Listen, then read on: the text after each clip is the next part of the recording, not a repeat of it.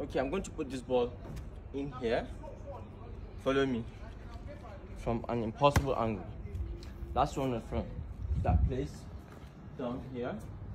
So this is a new edition looks impossible but it's not impossible to me. It's possible. So let's get going.